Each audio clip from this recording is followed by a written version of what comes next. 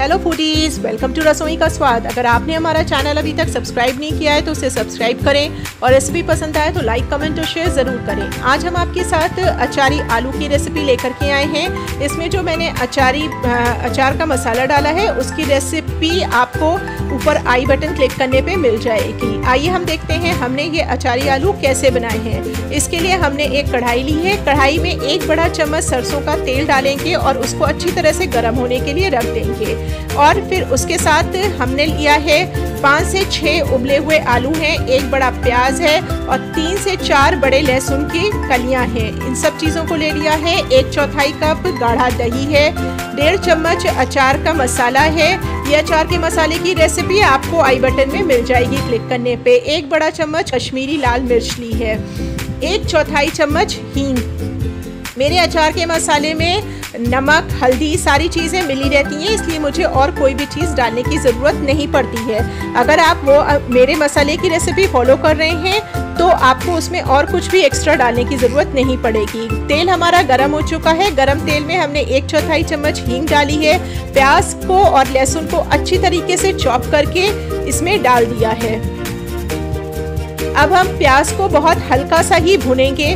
बिल्कुल ट्रांसपेरेंट केवल उसमें लुक आ जाए, एक गुलाबी सा रंग आ जाए प्याज में, केवल तब तक हमको उसमें भूनना है। और आलू को हमने दो भाग में काट लिया है, मीडियम साइज़ के आलू आप लीजिएगा, बहुत बड़े आलू इसके लिए नहीं लीजिएगा। और अगर आपके आलू बहुत छोटे हैं तो उनको नहीं काटिएगा, उन्हें वैसे ही डाल दीजिएगा। उबले हुए जो आलू लिए थे, उसको हमने दो भागों में कर लिया है। अब ये हमारी प्याज हल्की सी भुन गई है। इस प्याज में हम अपने आलू, उबले हुए आलू जो हमने काट के रखे हैं, उसको डाल देंगे। और अच्छा सुनहरा होने तक इसको भून लेंगे।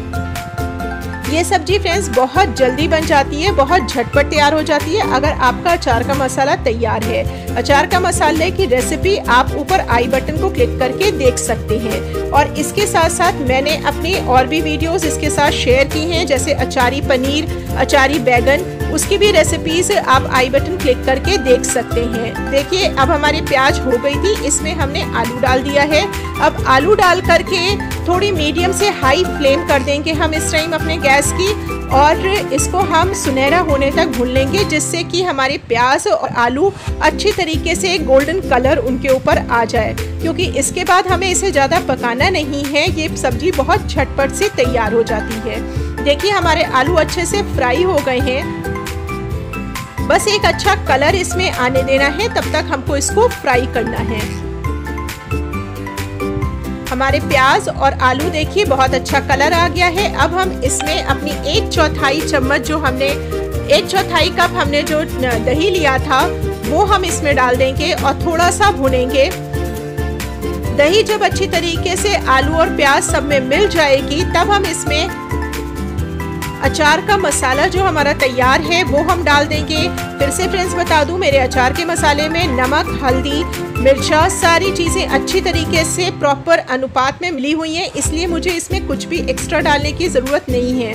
कश्मीरी लाल मिर्च हमने इसलिए डाला है जिससे कि हमारे सब्ज़ी को एक अच्छा सा कलर मिल जाए।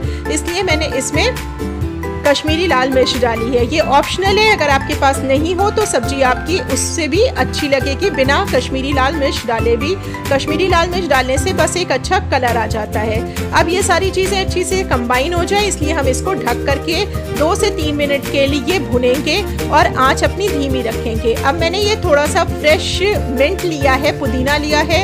इसको थोड़ा सा चॉप कर लिया है, वो डाल दिया है, कश्मीरी लाल मिर्च डाल दिए और फिर से एक बार हम इसको चला देंगे सारी चीज़ें। चीज़ें अच्छी तरह से कंबाइन करने के लिए। देखिए कितना सुंदर कलर आ गया है और हमारी सब्ज़ी कितनी झटपट से जल्दी से तैयार हो गई है। ये सब्ज़ी आप पराठा, पूड़ी, रोटी किसी के साथ भी सर्व करें, ये बहुत अच्छी लगती है और बहुत झटपट से तैयार हो जाती है। अगर आपके यहाँ कोई मेहमान आ जाए, जैसे आपको तुरंत लंच या डिनर कराना हो, उसके लिए अगर आपका अचार का मसाला तैयार है तो बहुत जल्दी से आप ये रेसिपी बना सकते हैं। इसके साथ साथ आप मेरी पनीरी, अचारी पनीर की रेसिपी, अचारी बैगन की रेसिपी भी फॉलो कर सकते हैं। फिर से हम ढकेंगे, जिससे कि सारी चीज़ें आपस में कंबाइन हो जाए।